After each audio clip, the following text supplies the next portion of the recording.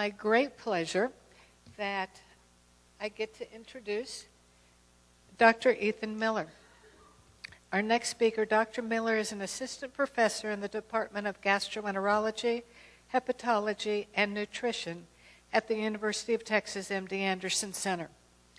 He was a congressional aide in the U.S. House Committee on Banking, Finance, and Urban Affairs in Washington, D.C. in 93 and 94, so he really does understand our advocacy.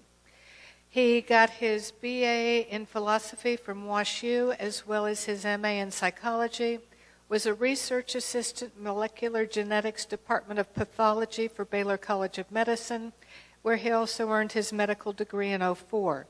He completed his internal medicine residency training and joined MD Anderson in 2010 after completing his gastroenterology fellowship at Mayo Clinic in Scottsdale, Arizona. He is the assistant professor, Department of Gastroenterology, Hepatology and Nutrition, Division of Internal Medicine, the University of Texas MD Anderson Center, Houston, Texas, 2010 to present. One of the unique things that I am thrilled to be able to say Dr. Miller did was I was connected with him with the General Faculty Speakers Bureau with MD Anderson. When I explained to him what we were doing, why we were doing it, his response to me immediately was, How can I help? Who else do you need? What slots can I help you fill to make sure that all the attendees get some of the best speakers possible? So it is with great pleasure that I introduce to you Dr. Ethan Miller.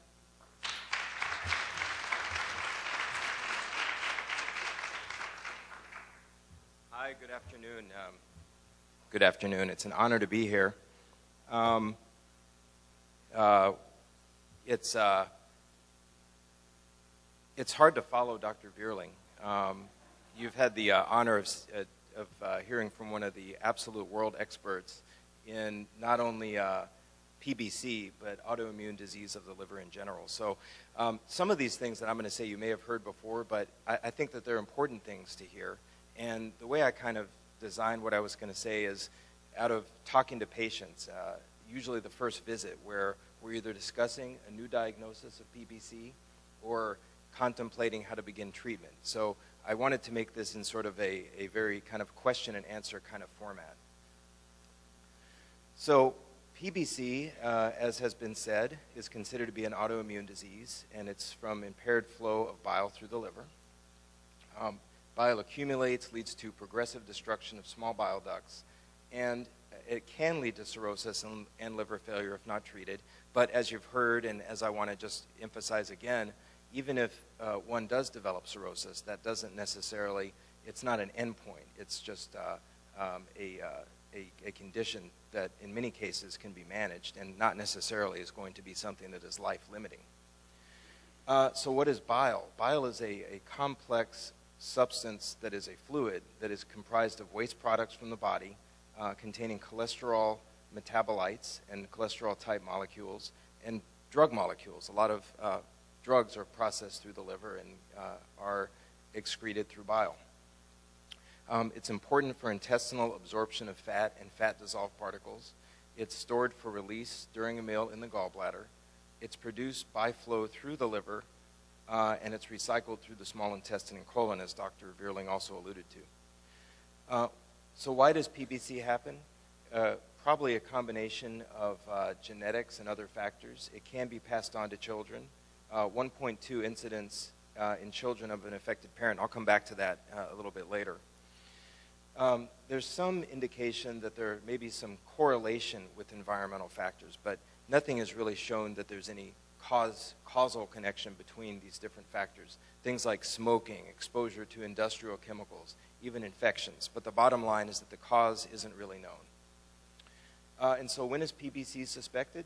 Usually it's discovered ultimately, after uh, there are uh, incidentally identified abnormalities on just lab tests that you might get when you go for a physical.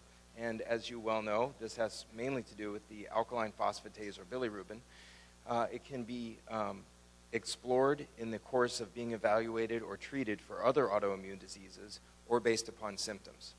Um, and so symptoms that uh, are, again, uh, suspicious for, auto, uh, for PBC include fatigue, uh, itching skin, particularly if it's worse at night, uh, yellowing of the skin or jaundice, abdominal pain or swelling or weight loss. And what you notice about this is these are all just so nonspecific. And I know that uh, many people, many of us may have gone on without any kind of diagnosis on online and you may pop up a panel of symptoms that you have and it will tell you you, you must have this disease. And I, I think that, um, that we want to try and assign names to things and, and develop patterns for the symptoms that we have.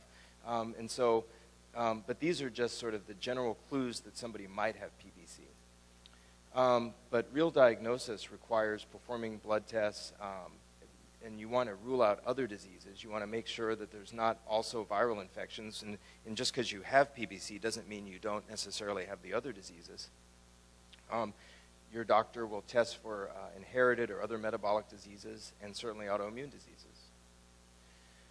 Um, and so um, the other part of a diagnosis of PBC, as you all know, or, or hopefully it's been done, is that you have to you have to have some sort of imaging to make sure that the elevated alkaline phosphatase or bilirubin is not the result of some problem with your bile duct, that there's no blockage in your bile duct.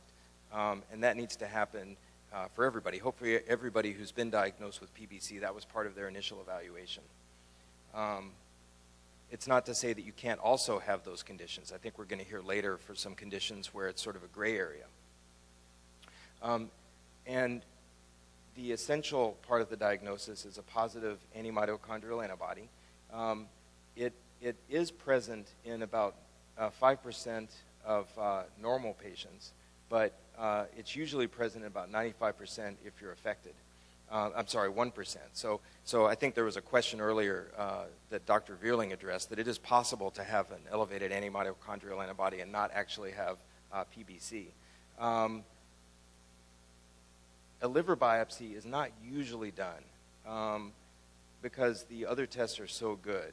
Um, but it can be useful if PBC is still the suspicion, but there is not an elevated antimitochondrial antibody.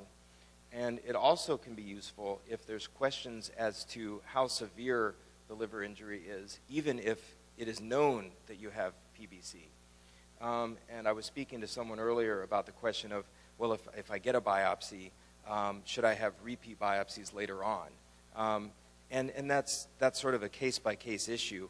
Uh, my general feeling is that you really don't need a biopsy unless it's going to answer specific questions or change the management in a very specific way. Because, like any test in medicine, especially an invasive test, there are risks. And although the risks are rare, you don't want to then have one of these complications and then look back and say, well, gosh, did we really need to have that done? Um, so, hopefully, whoever's caring for you kind of goes through that, process, that thought process and only uh, does tests that they think are really going to change what happens to you or how they're treating you. Um, and so the um, AASLD criteria for the diagnosis is having two out of the following three. Um, biochemical evidence with an elevated alkaline phosphatase, uh, having a positive antimitochondrial antibody, or having a liver biopsy showing bile duct related inflammation and injury. So again, sometimes a, uh, a liver biopsy can, in a sense, break the tie if there's debate as to whether that's actually the condition. And the truth is that sometimes the condition can change over time, and you do need a, either a biopsy after treatment's begun or again um, at some point during your treatment. So, um, who gets PBC? Well, there's a lot of estimates about how common it is, and it's generally described as more common in women by a factor of 10 to 1 but it does affect men. Um, and the incidence, uh, there's a huge variation in how often, in, in the frequency of the diagnosis. Um, somewhere between less than one person and six people per 100,000 people. Um, and the prevalence, as Dr. Vierling also alluded to, that's how many people in the population actually have it, is estimated between 2 and 40 people per 100,000 people. Um, classically, it occurs in non Hispanic Caucasians generally from a northern geography. But again, all of these are, are probably not necessarily applicable to everybody. Um, meaning that um, this is sort of the classical description, but we're probably underestimating the number of people that are susceptible for it and probably underestimating the number of men who have the disease or are susceptible. Um, and so, uh, right now, the standard of care for uh, PBC, and um, I think as of May 26, um, not necessarily in the future after uh, obeticholic acid was approved, but it's uh, URSO, ursodeoxycholic acid, which um, we heard earlier about uh, the, the uh, name of the obeticholic acid being related to a goose. Urso is actually related to a bear. The, uh, it used to be derived from uh, bear bile, urso being Latin for bear. Um, what does uh, URSO do? It improves the flow of bile, reducing inflammation and injury. It improves the alkaline phosphatase in bilirubin. It reduces progression to cirrhosis, and it improves transplant-free survival. Um, and it's taken every day for life. And again, we all know that this may change, but right now that's the standard. And, and some of you may be on this drug for the rest of your lives, um, depending upon what happens with how use of obeticholic acid is implemented. Um, but even though the uh, uh, URSO originated in bears, really the, the side effects are pretty mild. Um, they can be loose stools, weight gain, headaches, rarely numbness. Sometimes people even actually get pruritus as a result of URSO. Um, it does not effectively treat any other disease, although it is sometimes used, and there's nothing really wrong with using it for other diseases. Um, it's often used as an adjunctive treatment in uh, primary sclerosing cholangitis, um, autoimmune hepatitis, and nonspecific elevations of bilirubin. Some people who have a problem with bile flow don't necessarily have PBC, uh, but they may have some sort of disease that causes bile to not flow that well. And so it's used in those cases, but it's not really the only thing that URSO is really FDA approved for the treatment of is PBC. Um, and the other important thing is that um, it does not treat PBC symptoms. Um, it, just, it just helps uh, improve survival uh, and helps reduce inflammation in the liver, but it doesn't really have a big impact on the symptoms of PBC. The major one being fatigue, which you just heard a lot about earlier. It's common, again, a lot of this I know you've heard, but just to reiterate, it's common, it can be severe, it can fluctuate over time. Um, and I, and I do think that, that it can in itself lead to depression. I just think that it's not necessarily the fatigue per se, but I just think having a disease that can be disabling, that it can sort of be a big factor in your life, uh, can cause a lot of distress. Um, but the fatigue itself is of unclear cause. Um, unfortunately, there are no effective treatments to completely eliminate fatigue. I know that in some people, uh, they have found a lot of relief with the available treatments, but um, it's hard to predict uh, an individual that will or won't respond. Um, I always think that it's important that in somebody who has fatigue to just review all of the medications, make sure that there's not another culprit that could be easily identified and changed. Um, you heard earlier that sometimes it's as simple as changing the beta blocker to, um, to, to taking it at night to help with uh, insomnia. And it's, it's little tricks like that that I think are important to make sure that your doctor is considering when treating fatigue.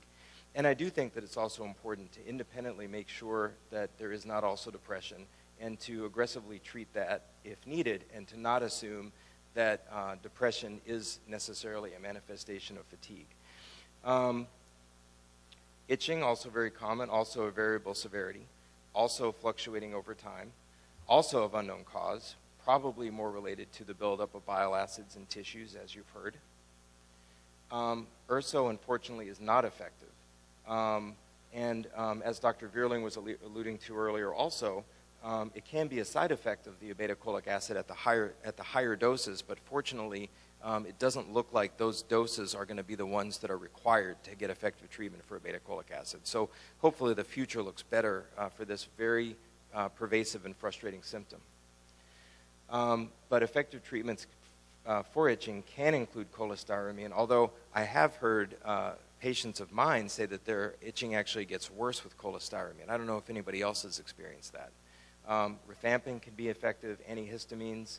Um, there's even, uh, in extreme cases, there's plasmapheresis and nasobiliary drainage. I personally have never uh, seen anybody require it, uh, any of those extreme uh, treatments. And I've also never seen anybody um, uh, have such severe itching because of URSO that they had to stop treatment. Um, and we'll hear more about uh, dry skin or, or eyes, but um, th- those could also be a reflection of the fact that it is an autoimmune disease. Um, it does tend to affect women more than men, but again, it could just be a, fact, uh, a function of the fact that uh, more women are affected. Um, I, I, I, I think that that's it's fair to focus on that, but I, I just think that it's also important to realize that, that men can uh, suffer from this condition as well. Um, and of course, uh, there is the issue of accelerated bone uh, loss and osteoporosis in PBC, which we'll also hear more about later. Um, and yellowing of the skin and eyes, um, you know, usually that does uh, reflect the fact that somebody has advanced liver disease. Every once in a while, somebody can present with jaundice, and um, it's because they are they have undiagnosed PBC, um, and usually those are the patients that get a liver biopsy, and sometimes they actually don't have uh, very advanced liver disease. They just needed to be treated, or, or they needed, or we needed to make sure that they didn't have a, a, an obstruction of their bile duct. So again, I think it's important that, that if you do have any of these symptoms, to just not assume the worst and to see a physician and make sure that you get care. Maybe this is how some of you first presented to your physician, uh, is with noticing or somebody else noticing that you had yellowing of your skin or eyes. Um, another uh, thing that can happen, uh, especially with very advanced disease, is uh, esophageal varices. And that's a reflection of uh, impaired blood flow into the liver, um, usually but not always because of cirrhosis. Um, and uh, it can uh, be seen in PBC uh, even before cirrhosis is known, um, although it's extremely rare. Um, there aren't any specific screening guidelines in the PBC in PBC patients uh, for looking for varices. Um, some people say that um, if you if you have a risk score, the Mayo risk score greater than 4.1 or low platelets, that it's time to get screened for varices. I think the general rule of thumb is that um, if you have PBC and you have cirrhosis, you just need all of the sort of management that anyone with cirrhosis should have.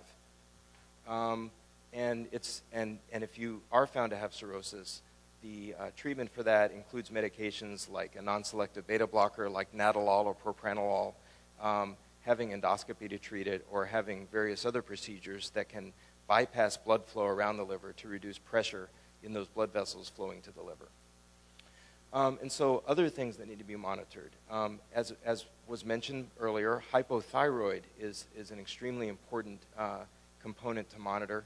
Um, and um, also uh, fat-soluble uh, vitamins, and I think we'll hear a little bit more about that later too. Um, the fat-soluble vitamins that are of particular importance, importance are vitamin A, D, E, and K.